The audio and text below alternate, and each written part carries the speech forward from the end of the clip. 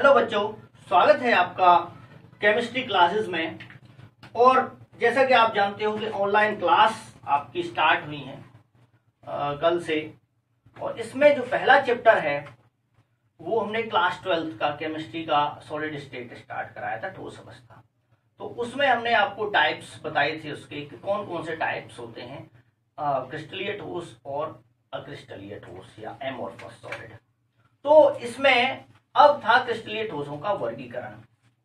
तो क्रिस्टलीय ठोसों का वर्गीकरण, देखिए, ये जो वर्गीकरण किया गया है, ये इसके आधार पर किया गया है कि किस प्रकार के बल उनके कणों के बीच लगते हैं। स्ट्रॉन्ग फोर्स भी लगती हैं और वीक फोर्स भी लगती हैं। तो बहुत ही कमज़ोर बलों द्वारा जुड़े रहते हैं और कुछ बहुत ही प्रबल बंधों द्वारा जुड़े रहते हैं। उसी के आधार पर उनके गुण भी होते हैं। एक तरीका और है इनको क्लासिफाई करने का कि वो जो अवयवी कण हैं, वो क्या है? अणु है या परमाणु है या आयन है? किससे बना हुआ? जैसे अणुओं से बनने वाले को कहते हैं आणविक ठोस।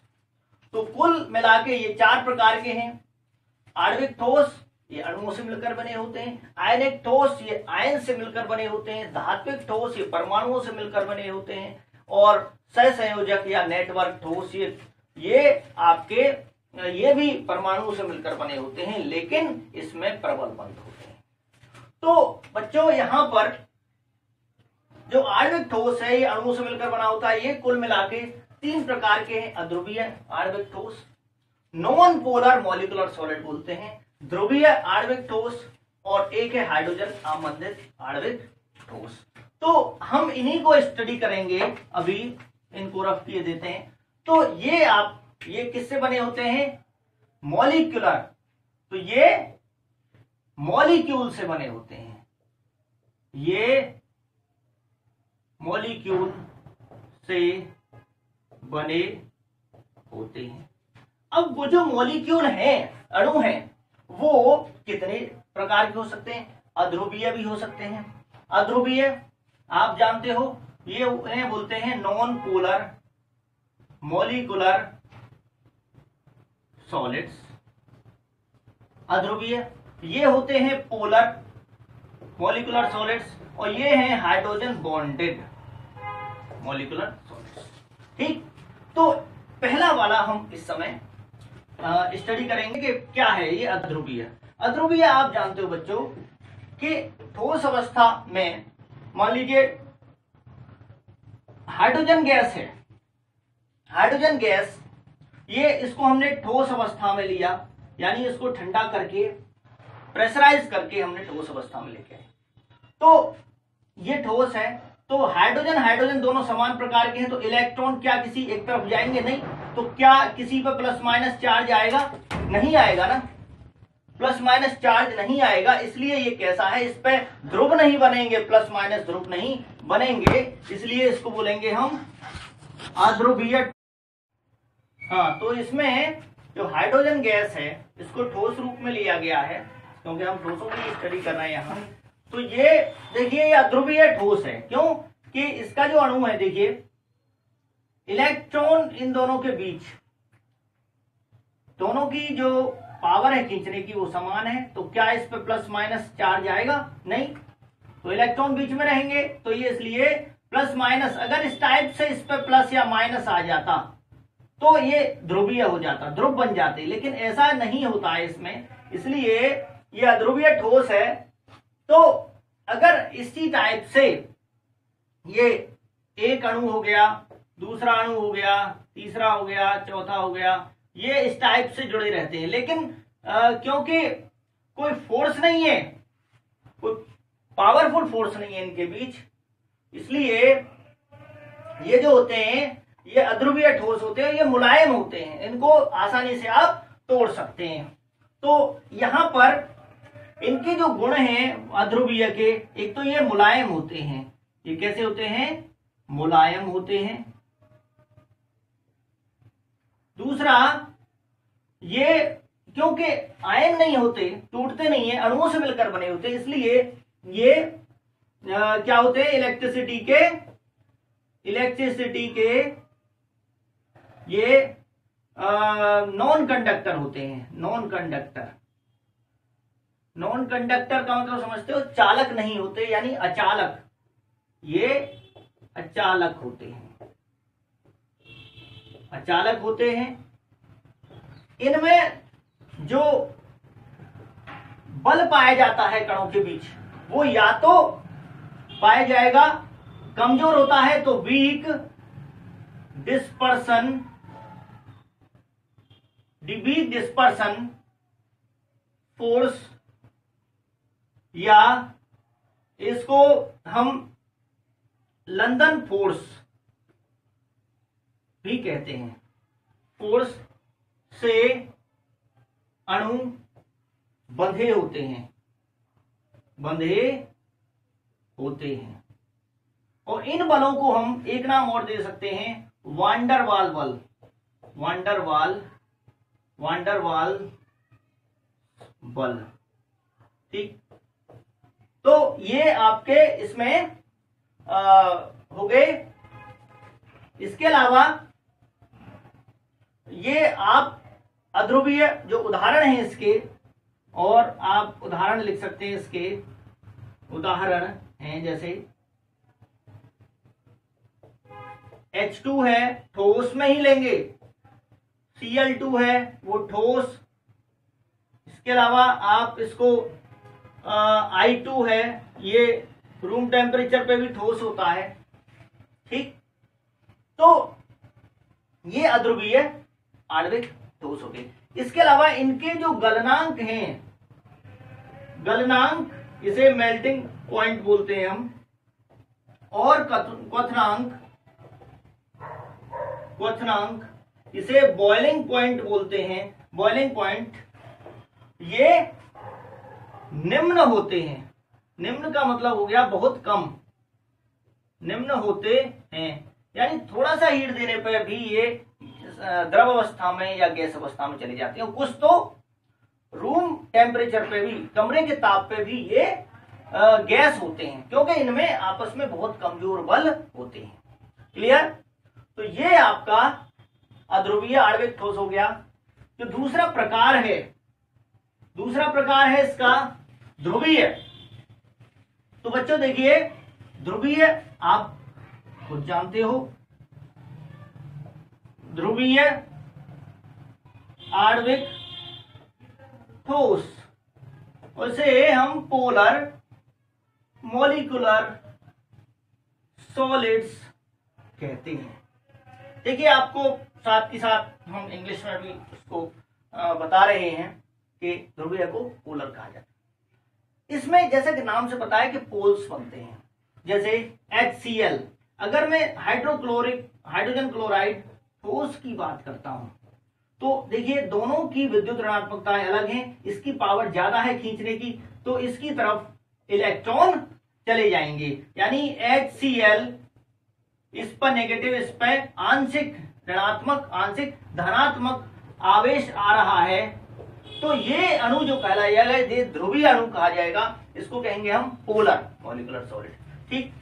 तो ध्रुवीय है ये। अब इसमें आकर्षण बल जो पाया जाएगा, मान लीजिए दूसरा अणु है तो इसके बीच ये तो इसको कहेंगे हम, ये द्विध्रुव हो गया, ये द्विध्रुव हो गया तो द्विध्रुव द्विध्रुव आकर्षण बल या डाइपोल डाइपोल, देखिए दो पोल ये हो गए, दो पोल ये हो गए, डाइपोल डाइपोल फोर्स, जो कि पहले वाले से, इसमें जो फोर्स पाई जा रही थी, उनसे ये स्ट्रॉन्ग है। ये स्ट्रॉन्ग है, ये क्या है? स्ट्रॉन्गर यानी प्रबल है ये। किससे? देन लंदन फोर्सेस ठीक? समझ में आ गया? उससे ज़्यादा इसलिए, इसके जो मेल्टिंग पॉइंट बॉइलिंग पॉइंट होंगे, वो क्या होंगे? ज़्यादा होंगे। तो समझ में आ गया ये? तो इसलिए इसको हम इसके जो करेक्टरिस्टिक्स हैं कि ये ये भी इसके मुकाबले थोड़ा सा कठोर होते हैं, लेकिन ये भी क्या होते हैं जनरली मुलायम। मुलायम होते हैं ये। ये भी, क्योंकि आयंस नहीं बन पाते इसमें आयन नहीं होते अलग अलग टूट जाए वो, जुड़े रहते हैं। इसलिए ये भी क्या होते हैं? इलेक्ट्रिसिटी के कुचालक या उसे अचालक भी कह सकते हैं। होते हैं, यानी करंट इसमें से पास नहीं होगा। इसके अलावा मेल्टिंग पॉइंट मेल्टिंग पॉइंट और बॉइलिंग पॉइंट बॉइलिंग पॉइंट अध्रुवीय ठोसों से ठोसों से अधिक होते हैं, अधिक होते हैं। समझ में आ गया बच्चों? और ध्रुवीय अणुओं से मिलकर बने होते हैं, ये तो आपको इसका पता है ही। और उदाहरण देखिए इसके। उदाहरण है इसके। जैसे HCl है, ये SO2 है, इस पे आप ऐसे, इसकी तरफ़ नेगेटिव नेगेटिव और इस पे ये पॉजिटिव ठीक? तो ये भी ध्रुवीय इसके उदाहरण हो सकते हैं और भी हो सकते हैं ठीक? और इसमें जो फोर्स पाई जाती है वो कौन सी होती है? Dipole dipole force dipole dipole force इसमें प्रेजेंट समझ में आ गया बच्चों?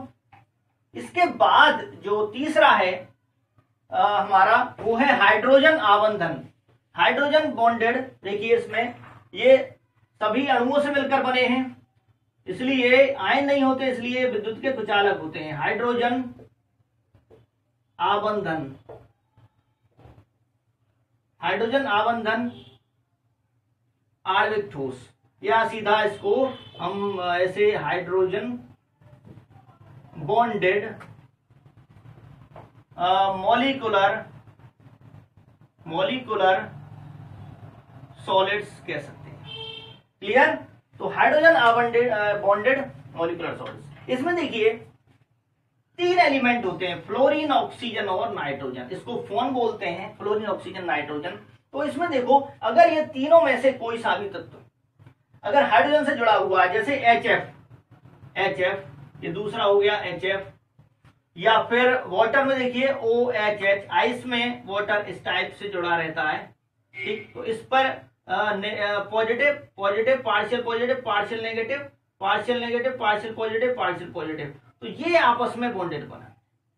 तो जब भी तीनों एलिमेंटों में से कोई हाइड्रोजन से जुड़ा होगा तो दूसरे अणु के साथ वो इस टाइप से जुड़ जाता है। देखिए ये। तो इनकी जो पावर होती है, ये खींचने की ज़्यादा होती है और एलिमेंटों से। इसलिए इसको डाइपोल डाइपोल न कह के इसको एक नया नाम दिया गया। वो है हाइड्रोजन बॉन्ड हाइड्रोजन बॉन्ड तो तीनों एलिमेंटों में ऑक्सीजन नाइट्रोजन अमोनिया में देख सकते हैं आप नाइट्रो अमोनिया में. H H N H H H इस टाइप से. तो ये जो फोर्स हैं, ये हाइड्रोजन बॉन्डिंग होती है. ये स्ट्रोंगर होती है ध्रुवीय वाले से. ध्रुवीय वाले से ये क्या होती है? प्रबल होती है. ठीक? तो इनके जो याद रखना कि ये तीन एलिमेंट अगर हाइड्रोजन से जुड़े हैं तो वो हाइड्रोजन बॉन्डिंग बनाएँगे। इसके अलावा इनके जो गुण हैं कि ये जनरली क्या होते हैं? ये इनके मुकाबले अपेक्षाकृत अपेक्षाकृत कठोर होते हैं। क्या होते हैं ये? कठोर होते हैं। इनके मुकाबले कठोर होते हैं। और ये भी इलेक्ट्रिसिटी के क्या होते हैं? बोलो। के अचालक होते हैं। अचालक, उचालक। ठीक?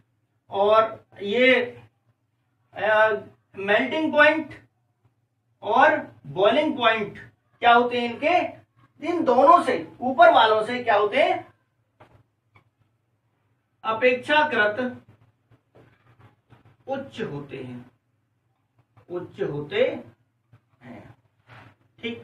और जैसे कठोर का मैंने बताया था कि आइस बर्फ़ जो होती है, बर्फ़ में हाइड्रोजन बॉन्डिंग पाई जाती है, ठीक? वो वाटर से बनी होती है, ठीक? इसमें हाइड्रोजन बॉन्डिंग होगा। और जो फोर्स है, आप जानते ही हो फोर्स कौन सी है इनमें, आपस में? वो है हाइड्रोजन बॉन्डिंग फोर्स होती है।